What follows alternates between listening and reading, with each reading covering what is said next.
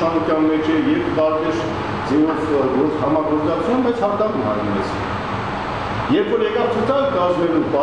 ազգային ժողովը, էլ այդ ցուցակ կազմել նույնիսկ սկզբում ինչ որ հանրապետականը։ Դե ուղղակի չաբա չաբաբաժին է, գումար չաբը տարբեր։ Եվ երրորդը կյանքը ցույց տվեց, որ այս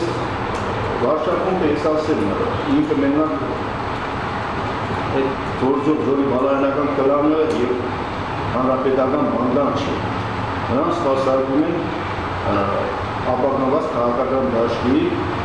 այսպես ասած պալատական ընդդիմությունը, որն այս երկիր Ադաշես Գիրանյան,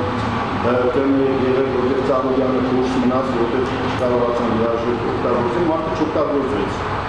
Իր պատիվի հետ ասել։ Նույն ես շատ եմ քննադատել, բայց հիմա պետք է լազմ։ Հիմա նաև հակն է մեր ապրիլյան պատերազմից հետո ցավոք հակն է հայտնվեց, իմ նախկին գործընկերները հայտնվեցին նույն շարքում։